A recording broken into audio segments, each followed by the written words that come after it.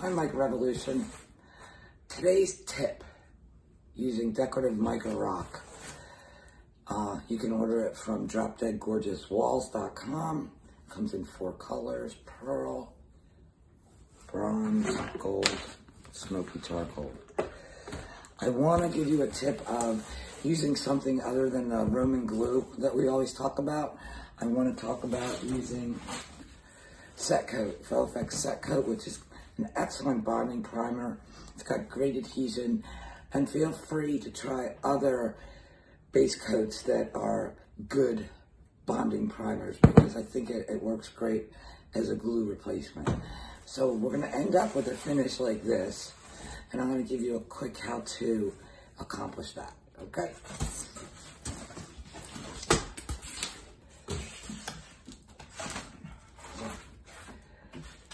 This is, let me move my camera.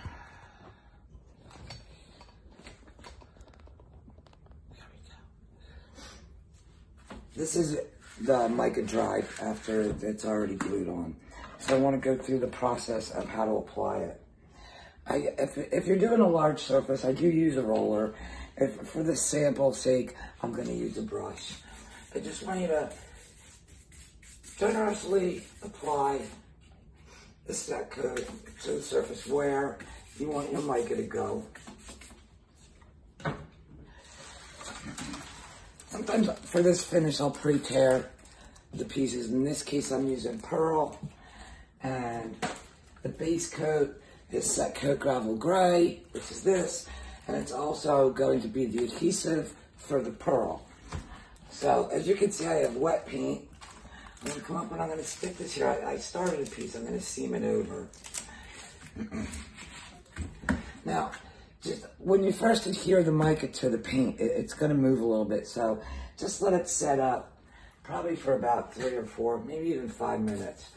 And just keep going, keep adding pieces, almost like the tissue application.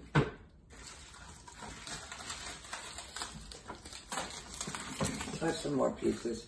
I'm gonna put this one in here. Here's a straight edge. I'll put this here. I'm assuming that you've worked with this product before for this tip. So if you haven't and you're interested, it's not hard. You can contact me and we can review it. Put another piece up here and so on and so on. You see, just keep adding some wherever the wet paint is. Now, in this case, I don't mind holidays. Maybe that big one. Because what we're going to do is we're going to come and backfill paint back over it after it sets up a little bit.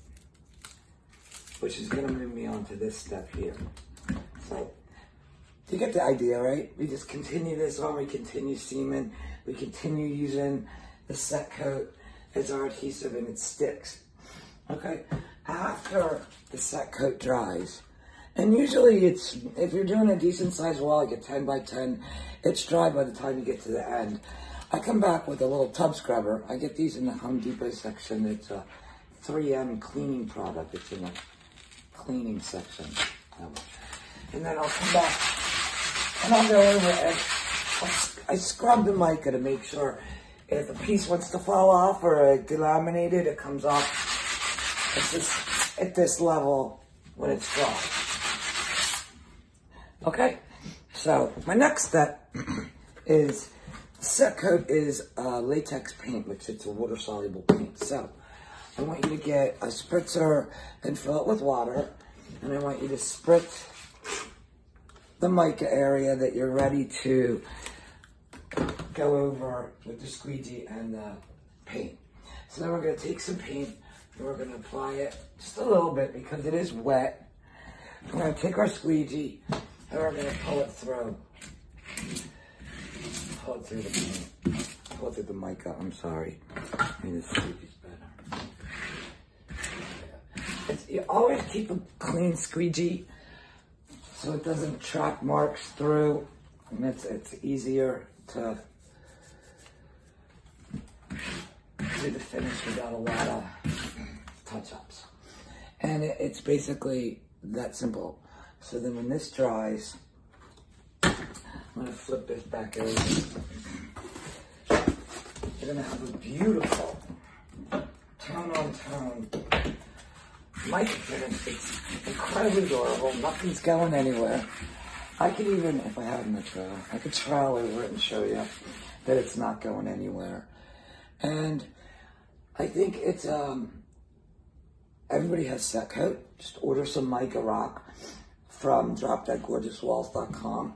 The colors are so interchangeable now. You could use red and you could use browns and golds and it goes on and on. The metallic set coat works really well too.